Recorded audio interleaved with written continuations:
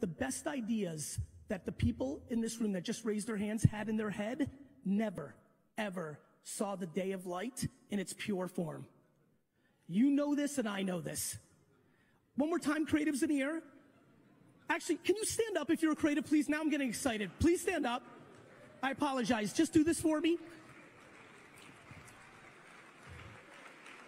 We, we, we, we are going to spend all week fake clapping for all of these people.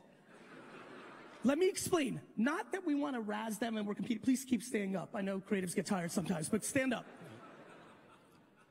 We're going to fake clap. Here's why. We're going to say you're the most important, you're the variable. This is that week, right? Yet, as an industry, as the advertising industry, we have done wrong by these wonderful people. We have done wrong because the process of making very little content that almost nobody actually sees is sucking the life out of them.